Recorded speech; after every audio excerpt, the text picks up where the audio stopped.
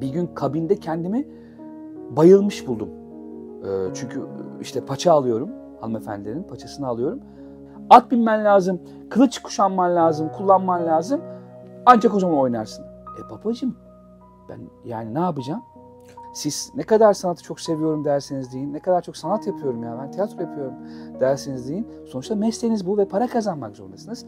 Para kazandırmak durumundasınız. Bugünkü konuğumuz sevgili Emrah Uslu. Emrah'cığım hoş geldin. Hoş bulduk. Hayırlı olsun program. Teşekkür ederim. Nasılsın? İyi misin kardeşim? İyiyim, teşekkür ederim abi. İşte koşturuyoruz.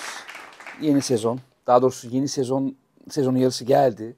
Bizim bir sonraki sezon hazırlıklarımız var. Tiyatro biliyorsun şu anda, e, dublaj. Son gaz devam ediyoruz. Görüyorum, takip ediyoruz. Eyvallah. Güzel çalışmaların var. Hatta oyunların şu anda aktif olarak devam Evet ediyor. evet şu anda Kap Kabare diye bir oyun oynuyoruz. İkinci sezonu. Ee, komedi. Ya bir kabare zaten. Ee, yeni yazdığım bir oyun var. Onun haricinde dublaj çalışmaları devam ediyor. 20 küsur yıldır zaten. Evet. Ee, geçmişten bugüne kadar biliyorsun. Ee, şu kadarcıkken tanıdığın için beni. Şu anda bir esprimiz olmuştu evet hep öyle oluyor. Şey gibi bizim akor basıyoruz böyle. Abi diyor orada hangi akoru bastın diyor. Ben diyorum ki uzay akorları bastım diyorum diyor. evet seni yeni tanıyacak kişiler için. Emrah Uslu kimdir? Valla Emre Uslu O Kimdir? soruyu sana da soruyorum. Evet biliyorum. İzledim gelmeden. Değil 1985 İstanbul doğumlu. Ee, kendi halinde çekirdek bir ailede büyümüş. Babasını küçük yaşta kaybetmiş. Ee, üç tane kadınla büyümüş. Annesi, anneannesi ve e, küçük teyzesiyle büyümüş. Ee, 10 yaşından beri oyuncu olmak isteyen, e, çok şükür ki şu anda oyunculuk yapan, e, sanatla ilgilenen, mesleğini sanat olarak belirlemiş ve devam eden biri Emrah. E, kendi çapında belli işlere imza atmış. E, 20 yıldır dublaj yapıyorum. Tiyatro yapıyorum uzun yıllardır. Şimdi bir e, tiyatrom var. Ortak bir arkadaşımla birlikte yapıyoruz. Bir oyun yazdım. E, Daha doğrusu hep yazıyordum bir şeyler. Oyun yazıyordum, skeç yazıyordum, e, öykü yazıyordum, hikaye yazıyordum, bir kitaba başladım. Hep yarım yarım kalıyordu. Bu sene tiyatroda kendi oyunumu oynamakla o yarım kalan e, bir şeylerden bir tanesini tamamlamış oldum. Şimdi devam ediyoruz. Onun haricinde televizyon projeleri var görüştüğümüz. Bakalım. İnşallah sezonun ikinci yarısında ben de e, ekranda merhaba diyeceğim. İnşallah. Senin zaten televizyon yüzün de var. Oradan da tanıyoruz. Evet uzun yıllar televizyon programı yaptım. Gezi programı Gezi vardı. programı yaptım. Gezi eğlence programı. Eğlence. Adına Gezi eğlence programı dediğim e, bir program yaptım. Türkiye'yi gezdim. Türkiye'yi gezerken e, insanlardan bir şeyler almaya çalıştım. Hem de işin birazcık eğlence kısmına, halkın içine e, karışıp halkın içindeki o eğlenceyi bulmaya çalıştım. E, Anadolu'yu gezmek çok güzel bir şey. Hem gezip hem para kazanmak çok güzel bir şey. Herkesin de hayaliymiş bu arada. Mi? Ben bu programı yaparken öğrendim. Abi hayalimizi yapıyorsun falan diyenler oldu. Evet, e, 8 sene sürdü. 800 bölüm yaptım. 800 bölüm. Tabii 800 bölüm yaptım. Şimdi Emre Uslu Duramıyor diye bir e, YouTube hesabı açtım ben. YouTube kanalı açtım. Hesap mı diyorlar, kanal mı diyorlar bilmiyorum ama ben de hiç alışık değilim. E, orada gezmeye de devam edeceğim. E, 8 yıl boyunca aldıklarımı iade edip e, yenilerini almaya kararlıyım. Ve sonrasında da e, bir takım kafamdaki fikirler var. Televizyonda yapamayacağımı düşündüğüm e, ama dijital platformda e, yapabilecek olduğum işler var. Onları gerçekleştireceğim. Bakalım ben de çok merak ediyorum aslında nasıl olacak bilmiyorum. Televizyondan daha özgür bir platform. Tabii. YouTube Çünkü. Televizyondan daha özgür bir platform.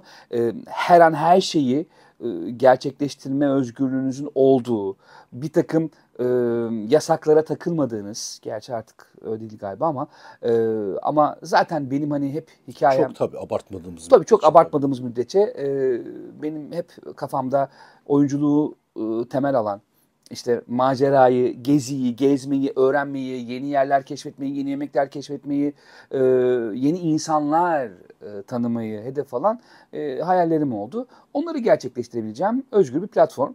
E, inşallah güzel gidecek bakalım. İnşallah şimdiden hayırlı olsun diyorum Çok sana. teşekkür ederim. Yol açık olsun. Çok sağ ol. Oyunculuk biraz bahseder misin? Senin dünyanda oyunculuk nasıl bir şey? Valla benim dünyamda abi şöyle söyleyeyim sana. Benim yani bunu gerçi seninle uzun yıllardır tanışıklığımızda da bilirsin. Ufak ufak konuştuklarımız var ama burada da herkes e, şu anda öğrenmiş olacak. Ben zaten hayatında e, hep e, oyunculuk var olan, oyuncu olmayı isteyen bir çocuktum. Yani e, çok küçük yaştaydım. E, bir dizi izlerdim ya da bir film izlerdim. Onu odamda tekrar oynardım. Film biterdi. Odamda o karakter kimse atıyorum Rocky Balboa, Rocky, Rocky Balboa olurdum odamda. Tekrar oynardım onu kendi kendime. E, taklitler yapardım. İlkokulda, ortaokulda sürekli bana taklit yaptırırlardı. İşte Naim Süleymanoğlu, İbrahim Tatlıses o zaman kahkülerim var. Be. yapıyordum. Naim Sinema'da yapıyordu ya böyle. E, Ahmet abim, teyzemin oğlu bana küçük böyle bir halter yapmıştı böyle kaldırıp indirirken. E, benim için oyunculuk çok önemli. Yani ben herhalde bu mesleği yapmamış olsaydım bu kadar mutlu olur muydum bilmiyorum. E, bunun çünkü parayla pulla hiç ilgisi yok. Sevdiğiniz işi yapıyorsanız sizi mutlu ediyor. E, üretmek, insanlara ulaşmak, yazdığınız bir oyunla, e, oynadığınız bir karakterle insanlara ulaşmak çok önemli. Oyunculuk benim için hep vardı. E, hatta şöyle söylüyorum, bu ne kadar doğru bir söylem bilmiyorum ama hissettiğim bu. Oyunculuk mesleği yapacağım dediğim yani karar verdiğim bir yaş yok gibi hissediyorum. Öyle doğmuşum diyorum kendi kendime. E, çünkü küçüklüğümü de şimdi baktığımda yani üç tane kadınla büyümüşsünüz. 10 yaşına kadar sokağa çıkarılmamışsınız. E, ve o yaşta e, hayal kendine bir dünya kur. Kendine bir dünya kuruyorsun, oynuyorsun. Anneanneni oynuyorsun, anneni oynuyorsun, teyzeni oynuyorsun. Üç ayrı kadın dönemi e, farklı yaşlardan onlarla büyümüşsün. E, sabahları Marimar izleyip hmm. ondan sonra akşam e, Cesur ve Güzel'in başında oturup kısır günlerine giden bir çocuktum ben. Değil yani e, şimdi oradan bir açılıyorsunuz. 10 yaşımda soruyorlardı. Bir kere bu benim için çok önemli. Bence bu işi e, yeni bu işe yeni başlayan arkadaşlar için de ya da düşünen genç kardeşlerim için önemli olan şey şu. Bana 10 yaşında soruyorlardı ne olacaksın diye. Ben oyuncu olacağım diyordum. Ve yaşım şu anda 40'a e, dayandı. Oyunculuk yapıyorum. Tiyatro yapıyorum. Tiyatro zaten başka bir şey. Yani tiyatro bir hani bu hep e, söylen vardı ya tozunu yuttuğunu vazgeçemezsiniz diye. Öyleymiş. Ben eskiden hani bunu böyle gençlik zamanlarında şey derdim. E, ya of ne kadar klişesiniz, ne kadar klişe laflar var böyle. Hiç olur mu öyle şey? Yani insan fikri değişebilir falan. Yok böyle bir şey yokmuş. Zaten yani e, bu artık yaratılışınızdan mı e, kaynaklı bilmiyorum ama bir şeye karar vererek zaten gidiyor hayatınız. Öyle doğuyor bence insanlar. Oyunculuk yapmasaydım ne yapabilirdim bilmiyorum.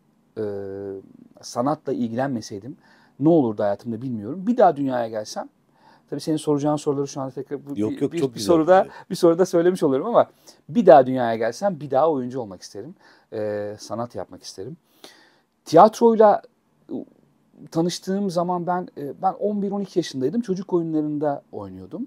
Çocuk tiyatrosu yaptım ben ilk. Çocuk tiyatrosuyla başladım. Hani böyle gidip sabah saat 6'da kalkıp okullara gidip oynayıp böyle 3 seans, 4 seans, 5 seans e, arkasından Mecidiyeköy'de bir simitçide buluşup paraları e, hmm. bölüştürdüğüm bir sistemden bahsediyorum uzun yıllar öncesinden. Sonra sonra hayat benim için ilerledi. Tiyatro hep hayatımda vardı. Çokça oyun oynadım. Çokça tiyatro oyununda yönetmen yardımcılığı yaptım, oyunculuk yaptım, ekipte bulundum. Ee, uzun yıllar bir tiyatronun yöneticiliğini yaptım ben. Ee, sevgili Aydoğan Temel benim hocamdır. Ee, dublaj doğayanlarındandır. Beni de zaten dublaja sıra geldi ondan da bahsedeceğiz. Evet, ee, başlatan Buradan da, da selamlar olsun. Buradan da selamlar olsun. Bana bir kapı açtı. Çok teşekkür ederim buradan kendisine. Her zaman da teşekkür edeceğim. E, tiyatro hayatımda hep vardı zaten. Bir gün bir tiyatro sahibi olmak, kendi tiyatromu yapabilmek, kendi hayalimi gerçekleştirebilmek e, çok önemliydi benim için. Bu sene, bu son iki yıldır bunları yavaş yavaş yapıyor hale geldim. Bu da benim için önemli tabii. Her tiyatrocunun böyle bir hayali var zannediyorum. Bir tiyatro açmak. Yani tabii eskiden tabii şöyle, eskiden bu işler çok daha kolay bir tiyatro açmak. Aslında kolay değil, yanlış bir şey söylemeyeyim. Şimdi mesela e, Haldun Dorman de bir e, tiyatro e, açtı. E, Yıldız Kenter de Kenter Tiyatrosu. Bunların hepsinin belgesellerini biliyoruz, hikayelerini izledik vesaire. Çok zor şartlarda e, Türk tiyatrosuna e, çok şey kazandıran insanlar, sanatçılar bunlar, duayenlerimiz.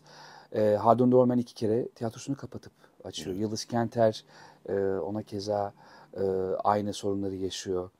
Tiyatro yaparken aynı zamanda halka tiyatroyu sevdirerek yanındaki insanlara yövmiyelerini vermek için uğraşmak. Her sezon yeni bir oyun, yeni bir maliyet, yeni insanlar, yeni emekçiler. Bu, bu, tümünü düşündüğünüzde zor bir şey tabii.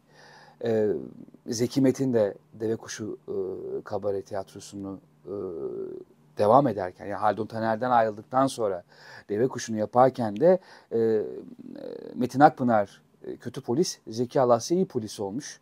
E, Zeki Alasya oğlum çocuklara biraz zam yapalım demiş. E, o da yok demiş yani yapamayız Metin Akpınar'da. Yani mevzu bu, matematik bu.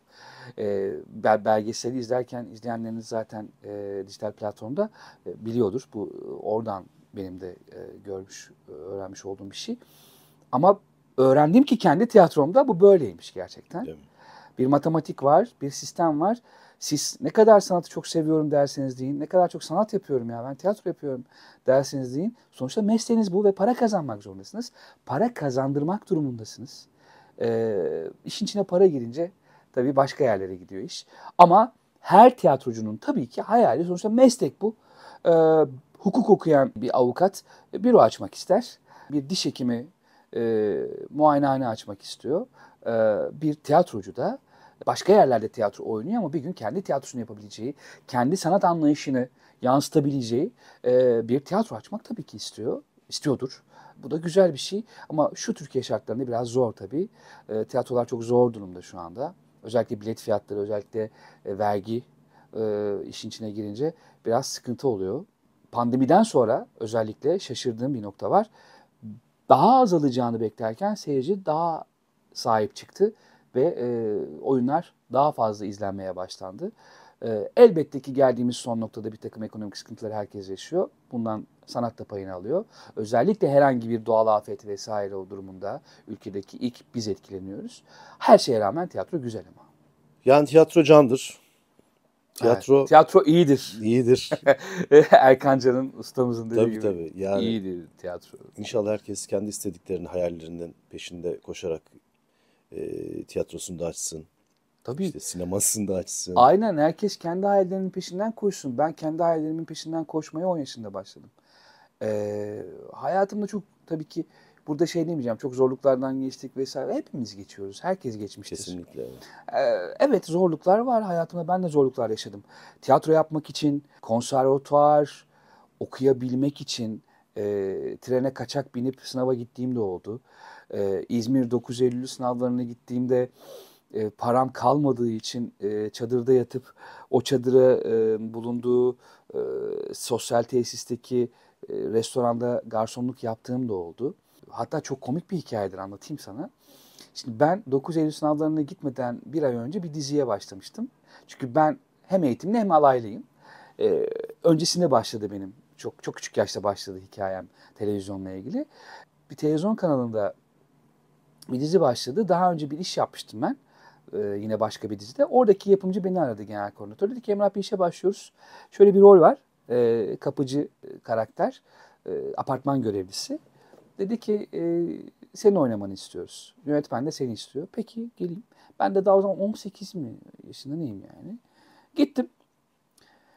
Çektik biz işleri vesaire falan derken o dönemde yaza yaklaştık. Te, konservatuar sınavları yavaş yavaş e, başlıyor. Sınavlar, sınav tarihleri yaklaşıyor. Ben hazırlık yapıyorum falan. Atladım İzmir'e gittim.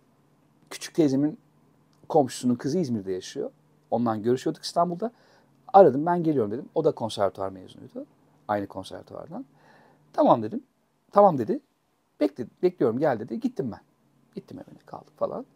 Sonra tabii sınava hazırlanacağım dönemde işte arkadaşlarım İstanbul'dan geldiler orada falan derken uzatmayayım. Ben şimdi o kaldığım evden ayrıldım. Seferihisar'a başka bir yere geçtim. Orada kalıyorum. Arkadaşlarımla bir kamp gibi bir şey yaptık, kurduk. Sınava hazırlanıyoruz. Üç gün sonra 9 Eylül'de sınav var. Ben sınava girdim. Sonucu bekli bekliyorum. Üç gün sonra beklerken yine döndüm. Bu sefer param bitti vesaire derken çadırda kaldım. Çadırlar var orada böyle. Restoran sahibi de beni sevdi sağ olsun. Kal burada dedi. Bana yardım edersin. Hem garsonluk yapıyorum hem çadırda kalıyorum. Annem arıyor İstanbul'dan. Aa gülük gülük sandık anne arkadaşlarlayım falan. Böyle. Halbuki bilmiyor hiçbir şey. Ee, sınav pazartesi günü. Günlerden cuma. Ben yine garsonluk yapıyorum ve bizim dizinin ilk yayın günü. Paramı da alacağım ki yayınlansın para yatacak. Onu evet. bekliyorum bir yandan da. Tam böyle akşam oldu. Yukarıda böyle olur ya tipik televizyonlar var böyle e, tesiste. İnsanlarla sohbet ediyoruz falan. Ben garsonluk yapıyorum. Ketçap üstüne ketçap veriyorum. İşte sundolunu falan derken tak dizi başladı falan ben çıktım. Bir yandan da Servis yapıyorum. Şöyle bir şey oldu. Şöyle oldular. Tamam mı? Ben böyle "He, evet benim falan yaptım. Aa nasıl yani falan derken bir anda sanki ben orada garsonluk yapmıyormuşum da e, orada müşteriymişim gibi bir anda oturttular beni yanlarına. Ya nasıl yani oyuncu musun bilmem ne işte sınava giriyorum hazırlık yapıyorum falan derken sonra e, şehre indim ertesi gün. E, iki gün sonra param yattı. Şehre indim. Bankamatikten paramı çektim. Sonra İstanbul'a dönebildim. Böyle bir hikayem vardı. Ha, ben sınavı kazanamadım tabii ki. Ee, ikinci aşamaya kaldığımda e, olmadı. Sonrasında İstanbul'da e, okula gittim. Ve zaten baktığımda benim hayatımda hem eğitim oldu hem muhtelif tiyatrolarda çalıştığım zamanlar oldu. E, işin mutfağında çalıştığım zamanlar oldu. Kameramanlık yaptım. Boom operatörlüğü yaptım. Montaj yaptım. Muhabirlik yaptım. Editörlük yaptım. Bayağı bir sektörün içinde. Çok yaptım renkli bir yaptım emrah. ama bunların hepsi hepsi bir yere hizmet ediyordu. Bir gün Tabii. rahat bir şekilde tiyatro yapabilmek için, rahat bir şekilde oyunculuk yapabilmek için. Çok şükür ki bugün rahat bir şekilde bunu çok dolu dolu söyleyeceğim. Benim için ekonomi şu anda hiç şey değil. Hepimiz aynıyız. Bir gün düzelir. Para gelir gider. Yeter ki sistematik olarak e, düzenli bir e, gelirinizi, işte kiranızı, faturalarınızı karşılayacak hale getirirseniz şu an için o yeter. Ben de çok şükür öyle bir yere getirdim. Ee, inşallah daha da ilerisine gideceğiz. Ee, çok egzajere etmemek lazım hayatı. Hepimiz zorluklar yaşadık. Sen ne biz yıllardır tanışıyoruz. Ee, arkadaşlarımızı biliyoruz. Onlar da zorluklar yaşadılar vesaire. Zaten sanat da baktığınızda dünyanın her yerinde böyle değil mi? Yani bakın şimdi mesela Sylvester Stallone'a e, Rocky'yi yapmadan önceki hikayesini hepimiz biliyoruz. Rocky'yi nasıl yaptığını biliyoruz. Bazı şeyler böyle tatlı oluyor demek ki. Yani bir işin e, fıtratı var. E, bizim işin de fıtratı bu demek ki yani. Peki sence o da o dönemki şartlarla bu dönemki şartlar arasında e, Çok fark var. fark var değil mi? Çok fark var. Ya en azından kafanda kurduğun hayal açısından. Tabii fark var. E Yani, çünkü sanat bir aşk. evet. Gerçekten sanatta doğuyorsun yani. Aynen. Sonradan sanatçı olunmuyor. Aynen. Buna inananlardanım ben de senin gibi. Bunun peşinde koşarken de mücadele vermemek olmuyor tabii ki. Tabii ki. Hiçbir şey için mücadele vermezseniz olmaz ki. Ama o günkü şartlarla bugünkü şartlar aynı mı? Değil tabii. Bir kere bütçe olarak aynı değil. Lojistik olarak aynı değil. Ortam olarak çok farklı. Sosyal medya diye bir şey var artık. Ee, teknoloji başka bir yere gitti. Bütün sistemi değiştiren bence sosyal medya oldu. Aynen öyle. Ee, yani şöyle söyleyebilirim. Bunu herkes duymuştur. Bu, bu bir gerçektir. Buradan herkes bilsin. Takipçi sayım az olduğu için işe kabul edilmediğim oldu benim. Ee, bundan önceki Instagram hesabım e, böyle bir 39 bin 40 bin falan da o yaptığım programdan dolayı. Sonra hacklendim ben. Şimdiki bir 20 bin falan herhalde yeni açtım. Ama benim Instagram hesabımdaki takipçi sayım az olduğu için ben kabul edilmedim mesela bir işe. Komedi işine televizyonda. Yapımcının söylediği şey şuydu yani. Ya evet kasta uyuyor. Yönetmen de sevdi ama takipçisi az. Bize takipçisi olan adam lazım. Yaptığın işin kıymeti kalmıyor mu? Takipçi mi olması İşte kalmıyor demek ki. Kalmıyor. Yani Yani takipçiye göre mi senin yaptığın iş kararlaştırılıyor? Yani ne kadar iyisin veya çünkü şeye bakıyor. O da o da bizim gibi düşünüyor mesela. Sosyal medyayı düşünüyor. Benim yaptığım işe ne kadar etki eder? Nasıl etkileşim alır? Eskiden şunlar vardı. Mankenler oyuncu oluyor. Herkes konuşurdu. İşte yakışıklı olanlar, güzel hanımefendiler falan filan. Şimdi o kalmadı mesela. Şimdi de fenomenler diye bir şey var. YouTuber'lar var. Geçmişte var mı? 3-5 sene öncesine kadar bir birkaç sinema filmde gördüm. Yani e, YouTube'da bir işler yapmış. Sonra onu sinema filmde oynatmışlar. E, oluyor ya da olmuyor o tartışılır. Ama sonuçta oraya hizmet etmesi isteniyor ondan. E, çünkü bu işi yapan kişi diyor ki bunun takipçisi 1 milyon. Ha diyor tamam buradan bana gelecek etkileşim diyor. İşte gişe bilmem ne vesaire bunlar e, zincirin halkaları gibi uzuyor gidiyor. Biz hayatımız boyunca şöyle bir milletiz. Biz duygularıyla hareket eden bir milletiz. Ya çok mu endüstriyel olduk yani? Bu Tamam, kadar Bu çok endüstriyellik işte. Yani mesela e, Jean-Claude Van Damme Antalya'da şey kurdu, plato kurdu mesela. Tamam mı? İşte bir takım fabrikalar plato haline getirildi. E, buralarda işler yapılıyor falan. Buralar bir şey değil. Tamam okey. Burada okeyiz. Çok güzel. e, dünya e, film piyasasını takip etmek, e, o endüstriyel gelişimleri, kazanımları almak, örnek almak ve kendinde bir şeyler yapmak piyasada bunlar güzel. Ama işte bu sosyal medya dediğimiz şey çok iyi olduğu kadar çok da kötü yanları var. Sadece YouTuber'ların olduğu filmler var mesela. Bakın buradan hiç yanlış anlaşılmasın. Ben kimseye bir şey söylemiyorum. Her şey tercihtir. Ben eskiden de söylemiyordum işte bunlar manken tercih ediyorlar, yakışıklı çocuklar, yakışıklı e, güzel hanımefendiler tercih ediyorlar, mankenler oynuyor falan. E, onlara da bir şey demiyordum ben. Çünkü artık diyemezsiniz. Tercih diye bir şey var. Tercih. Yani diyor ki ben filmde bunu oynatacağım. Geçmiş olsun. Ha bir de mesela artık şeyler var. Ya Emrah bir iş var da bütçesi biraz düşük ya. Yapma abi o zaman. Yapma baba. Biz şu işi istiyoruz senden senden yapmanı istiyoruz ama bizim bütçemiz bu kadar. Peki e, senaryoda e, atıyorum bir sahne var. Gemide gideceğiz. E, aşağı atacaklar beni. Tamam mı? Abi dublör kullanamıyoruz. Niye? Çok pahalı. Ya da işte bilmem, e, yapmayın babacım o zaman. Paranız yoksa bu işi yapmayın. Evet. Yapmak zorunda değilsin. Yapma. Yapma yani. Mesela bir dönem şey oldu. Sürekli sakal bırakılması istendi. Şimdi kılıç biliyor musun? Yok. At binebiliyor musun? Ay ben artık yapıyorum hepsini bu arada. Aldım, gittim ders aldım. At binme dersi aldım. Ee, kılıç kuşandım falan. Evet, bir dönem, Sak- dönem dizileri var. Tabii dönem dizileri yüzünden. Ama bir şey yani şöyle bir şey söyleyeceğim. Yani bunlar maliyetli şeyler. At binme, at binme kursuna gitmek, e, bincilik kursuna gitmek maliyetli şeyler. Bunlar zaten bunları yapabilen adamlar zaten oradalar ki. Yok ki başka. Yani sen bana bir alan bırakmıyorsun ki. Bana diyorsun ki bunu bilmen lazım. At binmen lazım. Kılıç kuşanman lazım. Kullanman lazım. Ancak o zaman oynarsın. E babacığım ben yani ne yapacağım? Yani bir oyuncu her şeyi yapabilmeli mi sence yani? Ya tamam tabii ki yapabilmeli. Tabii ki yapabilmeli her şeyi ama şöyle bir şey var. Her şeyi yapabilir. Okey. Müzik de bilmeli. Şarkı da söylemeli. Dans da etmeli. Çünkü mevzu enstrüman bu ya. Bizim vücudumuz ya abi. Enstrüman biziz ya. E, oyuncu dediğin kişi her şey olabilmeli ya bir yandan da. Menajer bana diyor ki em, Emrah diyor işte diyor e, bilmem ne dizisinde diyor bir rol var. At binebiliyor muyuz? Göndermiş aynı şeyi böyle yönlendirmiş bana mesajı.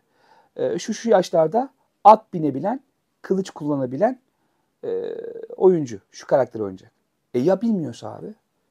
Yani oyuncu normal hayatını zaten devam ettiriyor. Yani at binmek e, ya da ona imkan sağlanıyor mu? Sağ, işte sağlanmıyor ki. Nasıl sağlansın? Ancak ana kasta oynayacaksın, anlaşacaksın, seni kursa gönderecek, parasını onlar verecekler. Sen öğreneceksin. Öbür türlü mümkün değil ki. Hele şu dönemde mümkün değil. Bu bir lüks. Birincilik kursuna gitmek bir lüks. Ha diyeceksin. Şimdi şöyle diyenler de olabilir. Abi oyuncuysan kendine yatırım yapacaksın. Okey. Ben bunu yapıyorum zaten. Ama ben yapabiliyorum da yapıyorum. Yapamayan ne yapacak? Ben kılıç kullanamıyorum. Kursa gitmedim. Bilmiyorum. At da binemiyorum. Bu rol. Tamam. Belki değişecek hayat oradan. Gibi gibi gibi gibi yani e, çok eksiler var. Çok boşluklar evet, var. Çok spesifik konular. Çok aslında. boşluklar var yani. Çok da uçlara dokunan konular var gerçi için içerisinde. Çok. Bu arada sesinden tanıyanlar illaki var şu anki. Seni dinliyorlar. Evet vardır. Bir de vardır. seslendirme yapıyorsun. Evet. Ee, Birçok karakteri seslendirdin. Evet. İlginç. Evet. Biraz İlginç. ondan bahseder misin? Şöyle ilginçlik şurada. Ee, tanıyanlar acayip yerlerden tanıyorlar. Ben yıllar önce konuşmuşum bir dizide bir karakteri, çizgi film karakterini. Bana altına yorum yazmış. İşte şunun sesi. Ben dedim ya, nasıl yani hatırlıyorsun? Ee, seyirci gerçekten çok ilginç. Ee, ben seslendirme 20 yıldır yapıyorum abi. Benim o hikayem de çok ilginçtir başlama hikayem. Ee, kulakları çınlasın yine Aydoğan abi, Aydoğan Hoca, Aydoğan Temel. Onunla biz e, televizyondan tanışırız. Benim e, magazin programında çalışırken ben orada o seslendirmesini yapıyordu. Duayendir zaten bir literatüre bir magazin e, seslendirmesi şöyle yapılır e, diye bir şey evet. şey kazandırdı. E, ben de oradan tanışıyordum. Sonra biz birlikte tiyatro yaptık onunla. Sevgili Celil Nalçakan selam olsun buradan da. Onunla o dönem beraberdik. Çok da sevdiğim bir ekip vardı. Orada bizi çalıştırırken falan biz bir tanışık edindik. Usta çırak ilişkisi aramızda oluştu. Sonra ben Pere Güzel Sanat Akademisi'ne başladım. Burslu olarak başladım ben oraya. Burslu kazandım. Fakat annem dedi ki ben seni hani burslu, burslu kazanamam yüzde yirmi beşlik kısmını ödeyemem. Çalışacaksın dedi yani. Tamam dedim. İş arıyorum harıl harıl. Fakat yani şimdi şöyle bir şey var. Ee, okul okurken, konservatuvar okurken, e, sanat okurken şey yapamazsınız yani gidip ayelerde bir yerde çalışamıyorsunuz. İzin vermiyorlar size. Atıyorum simit satamazsınız mesela. Ya da işte pazarda çalışamazsınız. Çünkü bir yandan da ben zaten hani okula geldiğim dönemin öncesinde bir 5 yılda setlere gitmişim, oyunculuk yapmışım, figürasyon yapmışım, çalışmışım, biliniyorum ve her an arıyorlar diyor ki hemen şurada iş var gel ajans arıyor vesaire falan. E şimdi bir markete girsem çıkamam oradan. İşte tezgahtarlık yaptım, satış danışmanlığı bir ünlü bir giyim firmasında. Mesela çok iyiydi hayatım. Müdürüm benim için şey diyordu yani seni ben Barcelona'ya göndereceğim, okutacağım bütün oradaki arkadaşlarımın şey şeye kazandırdığım e, o zaman primler havuza aktarılırdı orada. Havuzdan herkes alırdı. Bana bir gün şey demişti yani senin havuza kazandırdığın primden arkadaşların düğün yaptılar Emrah demişti. Yani e, çok önemsiyorlardı. Fakat ben o dönem okuyordum. Ben ayrılırken en son artık şöyle ayrıldım. Bir gün kabinde kendimi bayılmış buldum. E, çünkü işte paça alıyorum. Hanımefendilerin paçasını alıyorum. Tansiyon problemim varmış. Ben orada öğrendim. Ben yüksek tansiyon hastasıyım. Hastaneye kaldırdılar beni. Dedim ki bir dakika yok burada bir şeyler yanlış ilerliyor. Ve ayrıldım ben işten. İşten ayrılmam için elinden geleni yaptı müdür. Benim hatta evime kadar geldi. Gitme ben seni okutayım dedi yani. Ne yapacaksın tiyatroya? Nerede? Gel dedi. Sen de, tamam mı? Dedim gidiyorum ben. Yok teşekkür ederim. Sonra işte bu aşamada da tekrar bir iş arama evresine girdim. O zaman işte bir gross marketin marketler zincirinin şeyini dolduruyorum formunu. Fakat ağlıyorum bir yandan Ataşehir'deyim yani merkezde. Bunu egzajere etmek için anlatmıyorum. Bu bir gerçektir yani. Benim de hayatımın dönüm noktasıdır. Ne yapacağım ya ben yani? Nasıl yapacağım yani? Abi çalışamıyorum yani oralarda. Çünkü bu sefer burada çalışırsam iş yapamayacağım yani. Sonra Aydoğan abi aradım ben. Hocam dedim ben Ataşehir'deyim. Niye ağlıyorsun ya dedi. Ya dedim ben form dolduruyorum ya. Hocam şu dublaj gözün seveyim beni bir başlat. Çünkü oyunculukla yapabileceğim en iyi iş dublaj. Evet. Ne yapıyorsan bırak gel yanıma dedi. Gittim yanına. Yıl 2005'ti. Beni Saran stüdyolarına götürdü. Şu an hala devam ettiğim. Dedi ki eti sizin kemiği sizin. Alın bu çocuğu. Bu çocuk benim öğrencim.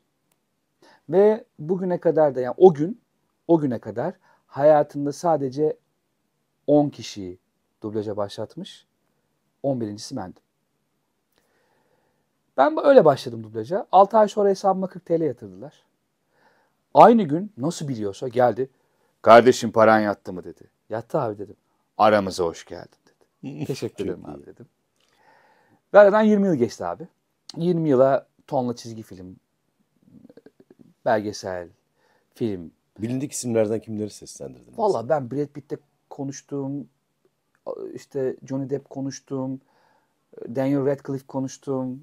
Ee, Bayağı konuştum diyorsun. Konuştum abi ya. Yani ne bileyim çok var. Özellikle şu anda e, Netflix'te çok revaçta olan dizilerde konuştuğum roller var. İşte e, özellikle zenciler konuşuyorum. Zencileri konuşuyorum son dönemde. Sesim birazcık böyle ufak ufak hmm. kalınlaştığı için. Speedy Gonzales konuştum. Çok fazla animasyon konuştum. Orada merak edenler için nasıl yapıyorsunuz dublajı? Şöyle, dublaj. Benim başladığım yıllar e, dublaj şöyle yapılıyordu. E, hucum e, tulum kayıttı. Yani şöyle söyleyeyim size. İçeri giriyorsunuz. Başroller e, konuşuyorlar. iki kişi var önde. Atıyorum onlar restoranda konuşuyorlar ya. Siz de garsonsunuz. Bekliyorsunuz sıranız böyle. Konuşsanız geldi. Hop söylüyorsunuz. Tamam mı? Atıyorum ne istersiniz diyorsunuz mesela. Diyemediniz. Tekrar başa dönüyorlar. Onlar da baştan alıyor onu. Siz de baştan tekrar. Yani çok zordu benim başladığım dönemde. Ama son dönemiydi bunun. Yani bir tek TRT stüdyolarında böyle anlıyordu. TRT'de. Diğerleri dijitaldi. Yani hmm. tek kanallı kayıttan çok kanallı kayıda geçtik. Ee, şimdi artık tabii iş eskiden kağıtlara bakıyorduk. Önümüzde ekran vardı. Time kodlu kağıtlar. Orada da aynı time code devam eder. O time code'a göre girersiniz. 2 saniyeden geriden girdiğiniz için yani başlar konuşacağınız karakter siz onu algılama süreniz 2 saniyeyi bulur. Girersiniz sonra onu montajda 6 kare yani 2 saniye geriye çekerler eşleştirirler. Hmm. Şimdi artık iş kağıtlar da bitti. Önümüzde dijitaller var. Petler var. Onlardan böyle akıtıyoruz. Tekrar konuşuyoruz. Tabii eskiden yaptığınız işin ne iş yapacağınızı bilirmişsiniz. Bundan 30-40 yıl öncesinde. Bir film 3 günde alınırmış mesela. Karakteri bayağı çalışırmışsınız mesela. Şimdi bir giriyorsunuz abi. Ne konuştum ben bilmiyorum ki gittiğimde. Atıyorum Saran'da 10 tane stüdyo var. Giriyorum. Birinde dizi oluyor, birinde film oluyor, birinde belgesel oluyor. O gün ben nerede ne konuşacağımı bilemem. Çok fabrikasyona dönüyor iş aslında. Ki hala Saran bu sistemde bile işi iyi yapan, en iyi yapan yerlerden bir tanesidir. Dublajda hala en iyiyiz biz bu arada. Ama tabii teknoloji ilerledikçe işte ilerliyor. Ee, evden kayıt dönemi başladı bir ara. Ee, pandemi döneminde. Eve stüdyo kurduk. Mikrofon aldık işte bilgisayar vesaire falan. Evden yapmaya başladık işleri. Sonra tekrar stüdyo döndü. Ee, tabii beni en çok e, kulaklarına tanıdık gelecek sesi magazinden bilirler. Evet. Uzun yıllar magazin konuştum. O herkesi hasta eden, uyuz eden, hepsi ve daha fazlası az sonra diyen ses bana ait. Ama şöyle söyleyeyim. İyi ki dublaj yapıyorum. İyi ki başlamışım. İyi ki o gün Aydoğan abi aradığımda beni yanına çağırmış. Ee, çünkü dublaj sayesinde hayatımda birçok şeyi başardım. Çünkü düzenli bir gelir elde ettim her şeyden önce. Ee, sabah kalktığımda gidebileceğim bir iş olmalı benim için. Öyle bir karakterim var benim. Sabah gideceğim, halledeceğim, geleceğim. Ben çalışmadığım günlerde e, mutsuz olan bir adamım. O yüzden uzun yıllar boyunca dublaj bana maddi manevi çok şey verdi. İnkar edemem. Tabii ki hayatımın sonuna kadar da dublaj yapmak istemem. Yani sadece dublaj yapmak istemem açıkçası. O yüzden şimdi yavaş yavaş şeyler başladı. Yani dublaj hayatımda olduğu için ben birçok şeye ya dublajdan para kazanıyorum nasıl olsa deyip kabul etmediğim ya da umursamadığım şeyler oldu oyunculuk anlamında. Televizyon vesaire. Şimdi artık öyle değil ama. Artık yavaş yavaş o da olsun. Sistem, Sistem bir yere itiyor yani. Değişiyor. Sanatın e, derler ya tam içindesin diye. Böyle böyle bir insansın. Güzel bir insansın. Sağ olasın. Ee, güzel insanlarla da yolun kesişmiş bu sanat camiası içerisinde. Evet. İşte Aydoğan Temel gibi. Evet. Ee, burada da sevgilerimizi iletelim tekrar. Kendisini de bekleriz programımıza. Niye olmasın ya gelir tabii. Ee, gelelim o soruya. Sona yaklaşmışken mesajın var mı? Olmam. Mesajım var. Mesajım şu. Umut biterse hayat biter. Umutlarını hiç kimse kaybetmesin. İdealleriniz yolunda kazanımlarınız her zaman olur. Benim mesajım aslında çok kişiye. Bunlardan bir tanesi bu işe yeni başlamış. E, konservatuarı yeni kazanmış genç kardeşlerime. E, hayat sadece diziden oynamak, dizide oynamaktan ibaret değil. Oyunculuktan ondan ibaret değil. E, bu bir meslek. Bunun bir meslek olduğunu unutmadan, bunun bir yaşam biçimi. Bazı meslekler vardır yaşam biçimidir. Mesela doktorluk da öyledir. Çünkü doktor kendi fizyolojisini, kendi hayatını ona göre ayarlar. Yani bir doktor e, gece yarısı yatağından kaldırıp ameliyata da gidebilir. E, ya da bulunduğu yerde hayatının düzeni ona göre değiştirebilir anlık olarak. Bu bir yaşam biçimi haline gelir. Oyunculuk da böyle bir şey. E, oyunculuk bir yaşam biçimi. E, sadece konservatuara gidiyorum demek için değil de bunu bir meslek olduğunu bilerek yaşam biçimi olması gerektiğini e, akılından çıkartmayarak hayatına devam etsinler. E, vazgeçmesinler. Onları vazgeçirecek çok şey olacak hayatlarında. Ama hiç vazgeçmesinler. Çünkü e, bir işe ne kadar yakın olursanız o iş size o kadar yakın olur. Bir işe ne kadar uzak olursanız o kadar da uzak olur. Mümkün olduğunca yakınlaşmak için sürekli koşsunlar. Bir diğer mesajım da henüz daha kendi içindeki patlamayı yaşayamamış Emrah. Yani kendime. İçimde iki tane Emrah var benim. Biri çocuk Emrah, biri yaşlı Emrah. O çocuk Emrah sürekli koşturuyor. Sürekli hadi hadi onu yapalım, hadi bunu yapalım, hadi şunu yapalım. O yaşlı Emrah diyor ki yoruldum diyor. İşte ben o e, hem çocuğa hem yoruldum diyen Emrah'a bir şey söylüyorum. Bugüne kadar çok zor geldim. Kulaklarınızı çekerim. diyorsun. Kulaklarınızı çekerim. Hiç öyle yoruldum falan yok yani. Evet. Aynen devam. Bence de istikrarlı olmak, İstikrar, tamamen e, yol, yoluna devam etmek, yılmadan, pes etmeden. yılmadan, pes etmeden. Son mesajım da şudur. Bugün benim bu programa, bu ve bunun gibi programlara katılmamı sağlayan bir geldiğim bir nokta var. Ee, en azından değer gördüğüm bir nokta var. Kendimi getirdiğim bir mecrada bir seviye var. Benim bu seviyeye gelmemde emeği olan insanlar var. Bu bunlar bunların içinde lise öğretmenlerim de var. Bunların içinde çok sevdiğim halam var. Bunların içinde annem var. Bunların içinde eee, bugün hayatta olmayan sevgili Yakup Yavru var. Eee, daha adını aklıma gelmeyen çok insan var. Çünkü bunlar bir yapı taşıdır. Sizi bir yerlere getiren insanlardır. Kesinlikle. Bir yerlere getir. Onlara mesajım şu. Çok teşekkür ederim. Bana bağırdığı için, beni ağlattığı için kızdığım o insana da teşekkür ederim. O yüzden bugün buradayım. Bana kolu elimden tutup e, gel bak seni şu ajansa götüreyim. Seni yemesinler, yutmasınlar. Şuraya götüreyim diyen Yakup Yavru'ya da çok teşekkür ederim. Allah rahmet eylesin. Bugün e, dükkanda yanında çalışıyorum. E, çok küçük yaşta. Seni konservatuar e, sınavına mı göndereyim? Yoksa üniversite hazırlık kursuna mı göndereyim? Diyen halama da çok teşekkür ederim. Beni ben yapan her şeye, herkese çok teşekkür ederim. E, ve onlara e, ilettiğim mesajın son kelimesi şu. Hiçbir zaman vazgeçmeyeceğim. Çok güzel bir mesaj verdin. Birileri birilerine dokunmak zorunda. Aynen öyle. Kesinlikle. Çünkü Aynen öyle. onu harekete geçirmek zorunda. İletişim çok önemli diyorum her şeyden önce. Ee, biz insanız, bir ruh taşıyoruz. Ruhsuz hiçbir şey olmuyor. Öyle Aynen öyle. Anlattığın gibi. Emrah'cığım güzel konuşmaların, güzel dileklerin için sana teşekkür ediyorum. Ben Ve teşekkür ederim. yine bir teşekkürüm. Ee, beni kırmayıp geldiğin için çok teşekkür Ne ediyorum. demek, ne demek abi rica Yüreğine ederim. sağlık, ayaklarına sağlık. Sağ ol. Ben çok teşekkür ederim. Umarım bundan sonra da yolun tamamen açık olur. Her şey istediğin gibi olur.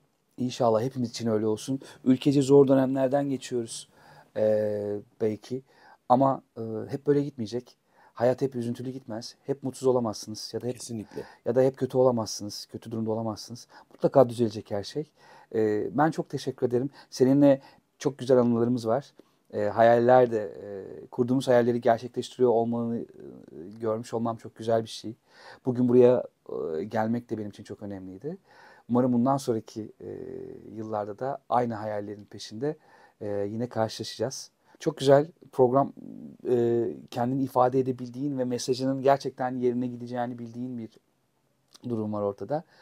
Vallahi ne diyeyim? Çok teşekkür ederim. Eee, Beni izlemeye devam etsinler. Evet. Emrah izlemeye devam edin. İyi ki geldin, iyi ki varsın Çok Emrah'cığım. teşekkür ederim. Sen de varsın abi. Bugünkü konuğumuz sevgili Emrah Uslu'ydu. Bir dahaki programda tekrar görüşmek üzere. Her şey gönlünüzce olsun. Hoşça kalın, dostça kalın. Tolga Çolak'la kalın. Hepsi ve daha fazlası az sonra.